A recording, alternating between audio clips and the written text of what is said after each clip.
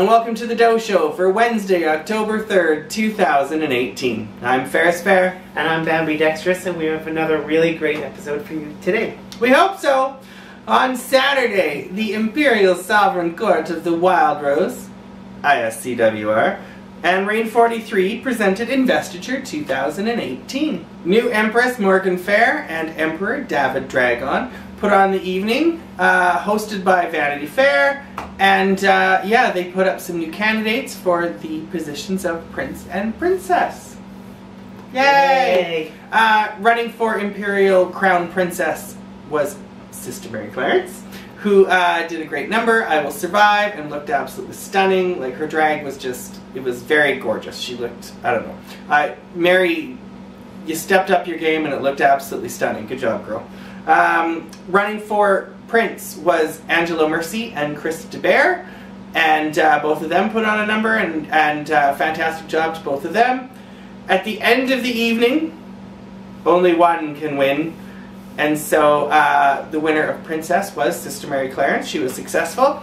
And the winner of Prince for the year was Angela Mercy. Yay! So congratulations to both of them on working with the Emperor and Empress.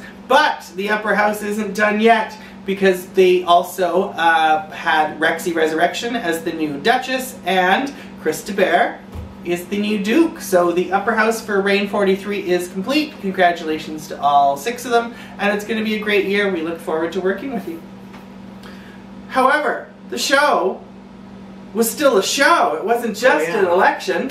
Uh, lucky for us, the hostess of the evening, Vanity Fair, also performed and did a fantastic version of A New York State of Mind. Mhm. Um, banged it out as always, and she just looked just gorgeous. It was just stunning. Um, the person to the immediate left to me also performed that evening. Bambi Dextrous performed Timber! And it was fun.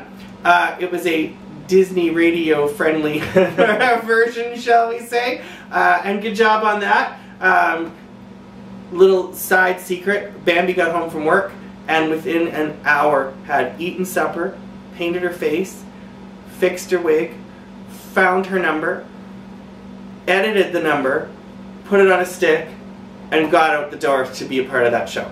So banged it out, and, and it was a it was a really fun number. So congratulations to that as well.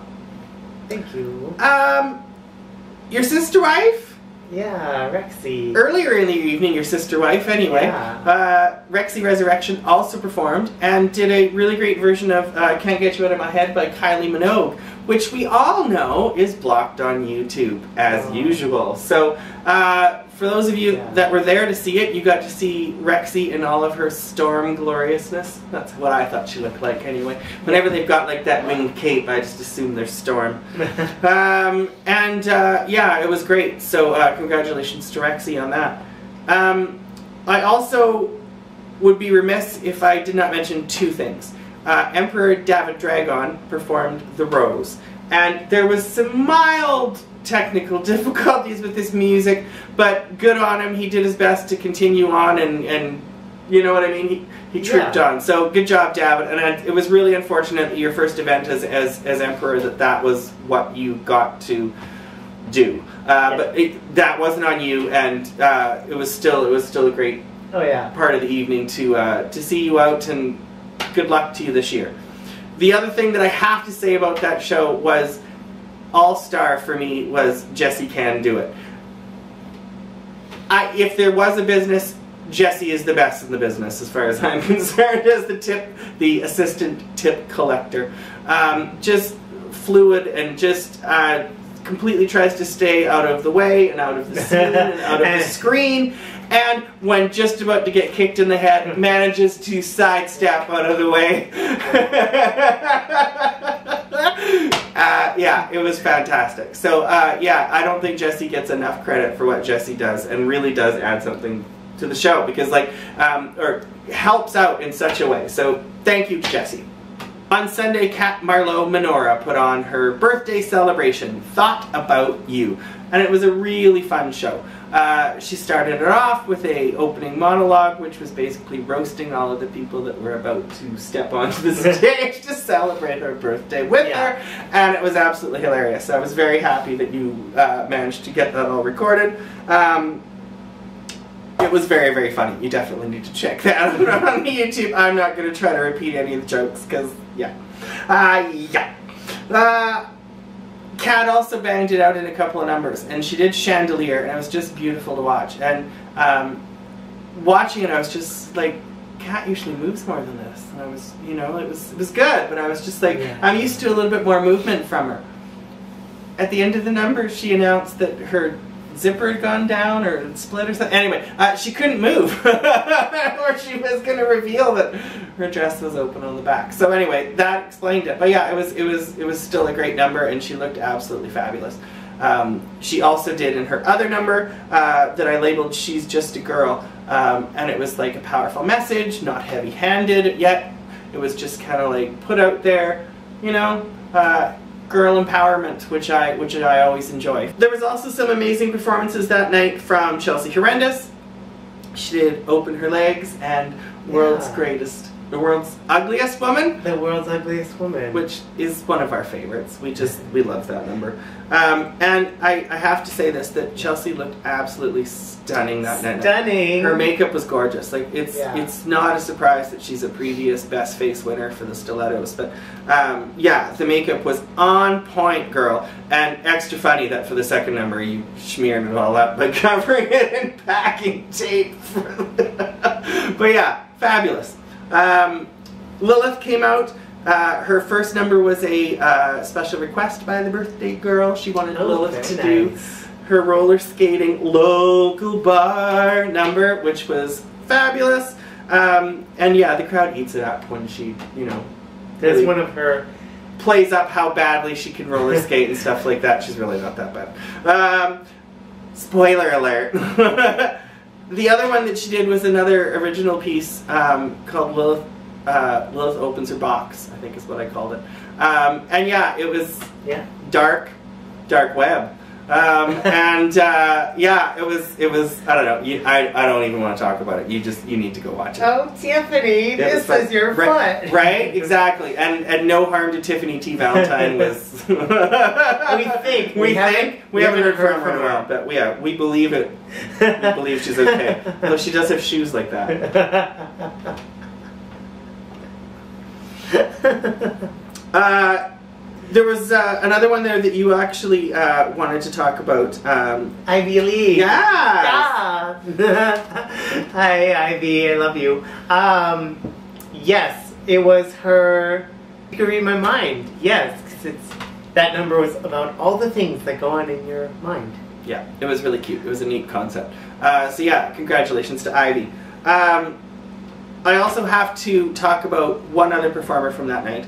Um, Davina is actually Oh. apparently going on a semi-retirement, and uh, she's not going to be performing for a while. Just wants to take a step back, which I don't blame her. Yeah. Um, so uh, yeah, she did two great numbers, and the one that really hit home for me was called "Alive." Um, Yes. The dress that she was Yeah. wearing, she was just a a glitter bombshell.